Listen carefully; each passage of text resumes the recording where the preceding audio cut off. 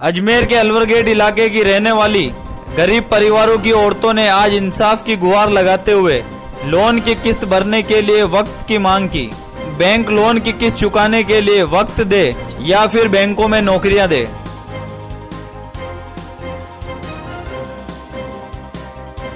देखो, हमने लोन ले रखा है। अभी हमारी ऐसी है कि लॉकडाउन लग गया। तो हम ना तो काम है ना हमारे पास कुछ है। और हमसे ये किस्त वाले परेशान कर रहे हैं हम कहाँ से किस्त भर रहे हैं? आप ये बताओ ऐसे डांट डांट के जाते या तो अपनी बैंक में हमें नौकरी दे दें या फिर हमें कोई काम धंधा बता दे और हमारे बस की है नहीं है? और हमको जान मन का खतरा है इन लोगों से जब रात दिन हमें परेशान करे जा रही है। कब आए थे ये?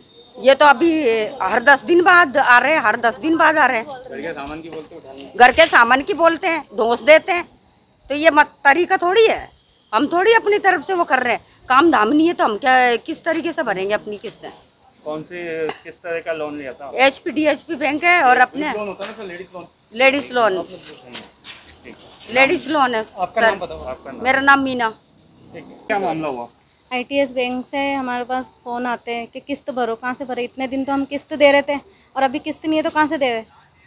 और उधर कहते हैं कि तुम्हारे वो चार्ज लग जाएगा कहीं का चार्ज लगेगा सिविल ख़राब हो जाएगी कहीं की सिविल ख़राब होगी जब इतने सालों से लोन दे ही रहे आज इतने इतने सालों से उज्जीवन बैंक है वहाँ से भी फ़ोन आ रहा है कि आप किस्तें भरो। आज मेरे को लेते हुए अट्ठारह साल हो गए लोन किस्त टाइम पे जा रही है फिर हमको तुम तंग क्यों कर रहे काम धंधा आदमी के है ही नहीं तो कहाँ से भरेंगे?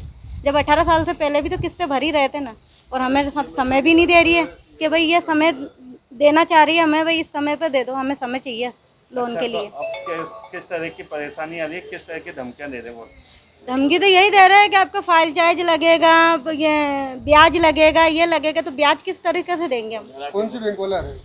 ये I T I C bank से फ़ोन आ रहा है। बनाज फाइनेंस है इनसे। आपका नाम पता संतोष।